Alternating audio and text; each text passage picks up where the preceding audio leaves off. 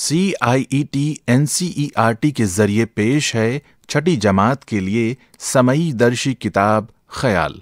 सबक नंबर आठ, Mary com, सफ़ा पचपन। खेलों की दुनिया से ताल्लुक़ रखने वाली मैरी कॉम, से भला कौन वाकिफ़ नहीं है? मुक्केबाजी, बॉक्सिंग में उनके अजीम कारनामे सिर्फ़ हिंदुस्तान ही नहीं, बल्कि आलमी सतह पर जाने जाते हैं। मैरी कॉम की पैदाइश हमारे मुल्क के शिमाल मशरकी रियासत मणिपुर में हुई। उनका पूरा नाम मांगटे चंगनी जांग मेरी कॉम है। मैरी कॉम अपने पाँच भाई बहनों में सबसे बड़ी थीं। उनके वालिद गरीब किसान थे। इसलिए वह उनका हाथ बटाने के लिए उनके साथ खेतों में काम करती थीं। मैरी कॉम को बचपन से ही खेल कूद में दिलचस्पी थी। इसीलिए वह स्कूल के ज़माने से खेलों में हिस्सा लेने लगीं। सफ़ा नंबर पचपन के निचले हिस्से में मैरी कॉम खेती किसानी में हाथ बटा रही हैं और साथ में अपने खेल की मश्क करती हुई। सफ़ा छप्पन उन्नीस में जब मणिपुर के मुक्केबाज डेंगू सिंह ने एशियाई खेलों एशियन गेम्स में तलाई तमगा जीता तो वह उनकी कामयाबी से काफ़ी मुतासर हुई और मुक्केबाजी में अपना कैरियर बनाने की ठान ली। उन्होंने अपने घर वालों को बताए बगैर स्पोर्ट्स एकेडमी ऑफ़ इंडिया में मुक्केबाजी की तरबियत लेनी भी शुरू कर दी। चंद बरसों बाद मेरी कॉम ने खुमान पिंक स्पोर्ट्स कॉम्प्लेक्स में लड़कियों को लड़कों के साथ मुक्केबाजी करते हुए देखा तो उनके इरादों में और पुख्तगी आई और हर हाल में अपने हदफ को हासिल करने की तगोदों में लग गईं। मेरी कौम के घर वाले इस खेल से ज़्यादा खुश नहीं थे। उनके वालिद चाहते थे कि वह मुक्केबाजी के बजाय किसी दूसरे खेल का इंतखब करें। लेकिन मेरी कौम मुक्केबाज ही बनना चाहती थी, इसलिए उन्हें अपने वालिद की मुखालफतों का सामना करना पड़ा। एक बार तो उनके वालिद ने गुस्से में उनके मुक्केबाजी के दस्तानों को भी जला दिया था। लेकिन उसके बावजूद मेरी कौम के इरादे में कोई तब्दीली नहीं आई। मुक्केबाजी ऐसा खेल है जिसमें अक्सर बहुत चोटें लगती हैं, लेकिन मेरी कौम चोटों को बर्दाश्त करते हुए अपना मकसद हासिल करने के लिए आगे बढ़ती गईं। इस तरह वह वालिद की मुखालफत और चोटों की परवाह किए बगैर अपने इलाके में खेले जाने वाले खेलों में हिस्सा लेने लगीं। सफ़ा नंबर छप्पन के दरमियान में एक तस्वीर है, जिसमें मुक्केबाजी के दस्ताने जल रहे हैं। सफ़ा नंबर सत्तावन। मेरी कौम की ज़िंदगी में एक ज़बरदस्त इनकलाब उस वक्त आया, जब उन्होंने बॉक्सिंग रिंग में कदम रखा। 2002 में ए आई बी ए, यानी एसोसिएशन इंटरनेशनल दी बॉक्से एमेच्योर चैम्पियनशिप में कामयाब होकर गोल्ड मेडल हासिल किया। फिर क्या था? शोहरत और कामयाबी उनके कदम चूमने लगीं। 2012 में उन्होंने हिंदुस्तान की पहली खातून मुक्केबाज के तौर पर लंदन में मौसम गर्मा के ओलंपिक्स में शिरकत की और कांसे का तमगा हासिल किया। अब उनकी शोहरत दूर दूर तक पहुँचने लगी। 2014 में जनूबी कोरिया के एशियाई खेलों और ऑस्ट्रेलिया में 2018 के दौलत मुश्तरक खेलों में उन्होंने तलाई तमगे हासिल किए।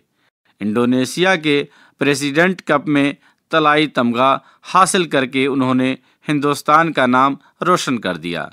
मैरी कॉम ने पाँचवीं मरतबा मुक्केबाजी के आलमी चैम्पियन बनकर हिंदुस्तानी खेलों की तारीख में एक सुनहरे बाब का इजाफा किया। मैरी कॉम की मेहनत और कामयाबी के एतराफ़ में भारत सरकार ने उन्हें पद्मश्री पद्म भूषण और पद्म विभूषण जैसे काबिल फ़ख्र एजाज़ात से नवाजा। और 2016 में सदर जमहूरिय हिंद ने उन्हें राज्यसभा का रुकन नामजद किया। इस तरह मेरी कौम की लगातार कामयाबियों ने आलमी सतह पर उन्हें एक मिसाली शख्सियत बना दिया। मेरी कौम की जद्दोजहद सिर्फ़ खिताबात जीतने तक महदूद नहीं है। उनकी कोशिश और मेहनत से यह भी साबित होता है कि महदूद वसाइल और इंतहाई दुशवार हालात के बावजूद भी कोई आम इंसान अपनी सलाहियतों का मुजाहरा करते हुए बुलंद मकाम तक पहुँच सकता है। सफ़ा नंबर सत्तावन के दरमियान में आलमी चैम्पियन बनने की खुशी का इजहार करते हुए मेरी कौम तलाई तमगे और हिंदुस्तानी परचम के साथ। सफ़ा नंबर अट्ठावन, लफ्ज़ मानी, हैरत अंगेज़, हैरत पैदा करने वाला, शिमाल मशरक, नॉर्थ ईस्ट माशी माली, हदफ, निशाना, मकसद, तलाई तमगा, गोल्ड मेडल, रुकन, मेंबर तगोदो भाग दौड़, मौसम गर्मा, गर्मी का मौसम, नामजद करना किसी काम के लिए मुकर करना। वसाइल, वसीले की जमा, बमानी ज़रिया। जद्दोजहद, कोशिश। गौर करने की बात। एक, सबक में बॉक्सिंग चैम्पियन और आइडियल अल्फाज आए हैं। बॉक्सिंग के मानी हैं मुक्केबाजी। चैम्पियन के माने मुकाबले में अव्वल आने वाला और आइडियल के माने हैं मिसाली शख्सियत। यह अल्फाज अंग्रेज़ी ज़बान के हैं, जो उर्दू में रवानी से मुश्तमिल हैं। उर्दू ज़बान में इतनी वसात है कि वह किसी भी दूसरी ज़बान के अल्फाज को अपने अंदर इस तरह समो लेती है कि वह किसी गैर ज़बान का लफ्ज़ महसूस नहीं होता। दो, खेलों के मुकाबले में पहला मकाम हासिल करने वाले खिलाड़ी को सोने का, दूसरा मकाम हासिल करने वाले को चांदी का और तीसरा मकाम हासिल करने वाले को कांसे का तमगा दिया जाता है। सोने के तमगे को तलाई तमगा और चांदी के तमगे को नुकरई तमगा कहा जाता है। सफ़ा नंबर अट्ठावन के ऊपरी हिस्से के बाईं जानब मुक्केबाजी के दस्तानों की तस्वीर दी गई है। सफ़ा नंबर उनसठ, सोचिए और बताइए। एक, मेरी कौम की शख्सियत की किस खूबी ने आपको मुतासर किया? सवालिया निशान?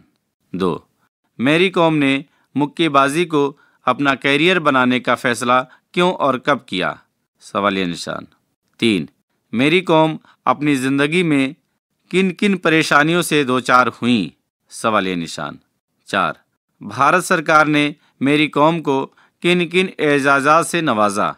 सवाल निशान? पाँच, मेरी कॉम की जिद्दोजहद से क्या सबक मिलता है? सवाल निशान। दर झेल अल्फाज के मुतरदफ लिखिए। वाकिफ़, खाली जगह। वालिद, खाली जगह। काफ़ी, खाली जगह। अंजाम, खाली जगह। बुलंदी, खाली जगह। कालम अलिफ और बे के सही जोड़ मिलाइए। कालम अलिफ, लंदन, जनूबी कोरिया, ऑस्ट्रेलिया, इंडोनेशिया। कॉलम बे, प्रेसिडेंट कप मौसम गर्मा के ओलंपिक्स, एशियाई खेल, दौलत मुश्तरका खेल। सफ़ा नंबर उनसठ, के निचले हिस्से के बाईं जानब मैरी कॉम की तस्वीर है सफ़ा साठ। दुरुस्त बयान पर सही और गलत बयान पर गलत का निशान लगाइए। एक मेरी कॉम के वालिद मालदार ताजर थे। दो, उन्नीस में मेरी कॉम ने एशियाई खेलों में तलाई तमगा जीता था। तीन। 2002 में ए आई बी ए चैम्पियनशिप में मेरी कॉम ने गोल्ड मेडल हासिल किया। चार। मेरी कॉम को भारत रत्न के एजाज से नवाजा गया। पाँच। 2018 में दौलत मुश्तरका के खेलों में मेरी कॉम ने तलाई तमगा हासिल किया। छः। 2016 में मेरी कॉम को लोकसभा का रुकन नामजद किया गया। पढ़िए, समझिए और लिखिए। एक, नीचे पढ़िए, समझिए और लिखिए। एक, यहाँ दी गई इबारत को गौर से पढ़िए। मेरी कौम के घर वाले इस खेल से ज़्यादा खुश नहीं थे। उनके वालिद चाहते थे कि वह मुक्केबाजी के बजाय किसी दूसरे खेल का इंतखब करें। लेकिन मेरी कौम मुक्केबाज ही बनना चाहती थी, इसलिए उन्हें अपने वालिद की मुखालफतों का सामना करना पड़ा। एक बार तो उनके वालिद ने गुस्से में उनके मुक्केबाजी के दस्तानों को भी जला दिया था। लेकिन उसके बावजूद मेरी कौम के इरादे में कोई तब्दीली नहीं आई। दिए गए इबारत के पहले जुमले में मेरी कौम एक जगह आया है। उसके बाद दूसरे जुमलों में मेरी कौम की जगह उनके, वह और उन्हें अल्फाज आए हैं। वह लफ्ज़ जो इसम के बदले इस्तेमाल होते हैं, ज़मीर कहलाते हैं। ज़मीर के इस्तेमाल से इसम की तकरार की वजह से पैदा होने वाली बदनुमाई दूर होती है और इबारत में रवानी और ख़ूबसूरती पैदा होती है। आप एक मरतबा दी गई इबारत में, वह उनके, उन्होंने की जगह मेरी कौम लिखकर पढ़िए और अपनी राय ज़ाहिर कीजिए। सफ़ा इकसठ। नीचे दी गई पहेलियों का हल मालूम कीजिए। इन पहेलियों का जवाब कोई ना कोई खेल है। इशारा, गुल्ली डंडा, फुटबॉल, हॉकी। एक एक मैदान में लड़ते देखे, लकड़ी बाज करारे। लपकें, झपकें, भिड़ जाएँ, पर एक को एक ना मारे। बाल नबी का होने दें, पर तेजम ताज बला की। लड़ने वाले इन्हें गिने और जान लड़ी सधा की।